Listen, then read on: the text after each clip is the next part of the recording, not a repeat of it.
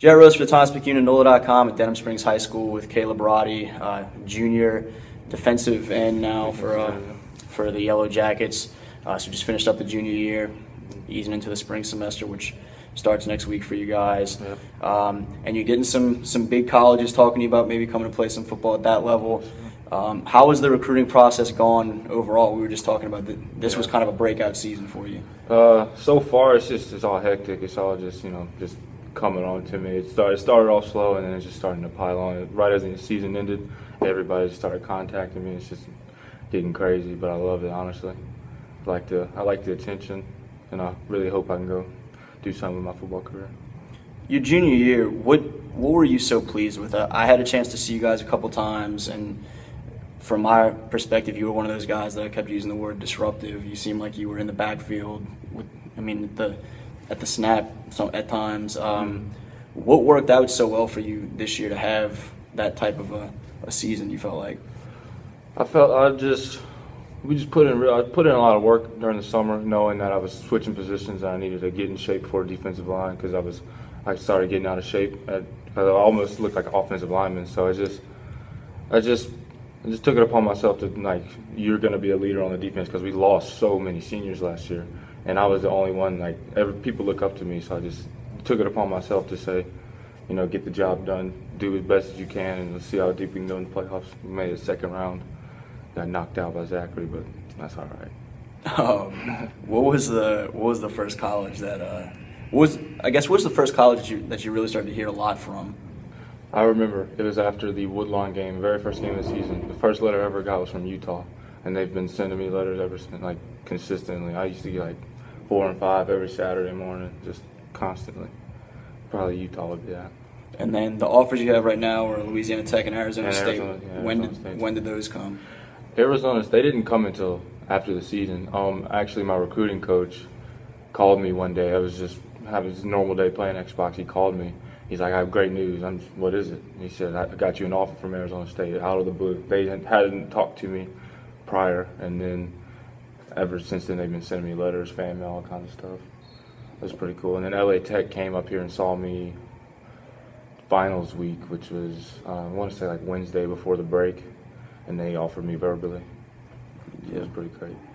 Um, what have been the th- have they given you those two schools or, or maybe any of the other schools that have have talked to you quite a bit a, a sense of what they they liked so much about you that kind of caught their eye? Yeah, most most schools say they like like my speed off the ball.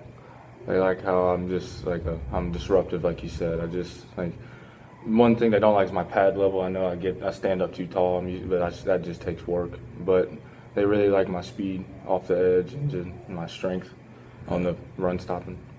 Um, and some of these other schools um, that have they haven't offered yet, but you've had a chance to talk to a lot that, that you've seen some interest in uh, or interest from. Who have been some of those schools, and, and you know, how do you feel about just moving forward and, and what you need to do to maybe turn some of those into offers?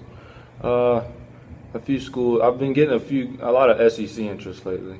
Uh, Ole Miss, Mississippi State, Tennessee, and a little bit of Missouri and Arkansas.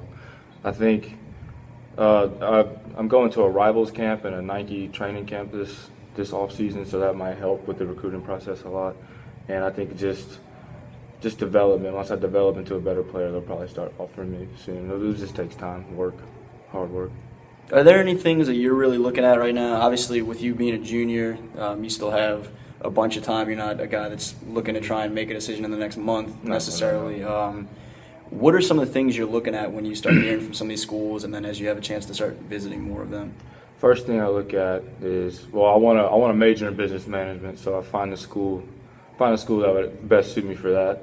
And the next thing I look at is like like the community. Well, I, well, I like going there for four years. You know, I don't want to go somewhere I'm going to hate.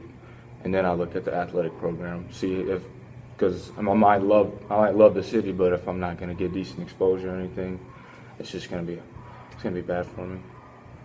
Do you have, being as it's this early in the process, any kind of mindset of you'd like to figure it out by the end of the summer before senior season starts, or you don't mind waiting or anything like that, or it's just kind of taken as it comes at this point? Just take it as it comes, really. I don't. I'm. Uh, I don't know when I'm going to commit. Honestly, it was just. I don't, I don't really have a top. I have I have like a top five, but it's not like it could easily change. Really, I don't Yeah. I don't know who I want to go to just yet. Yeah. It's all it's too early. You know, it just really started. Yeah. Especially with with a lot of it not coming until, until yeah, this year. yeah. It's like the last few few months actually, past two months, everything's just been it's been hectic.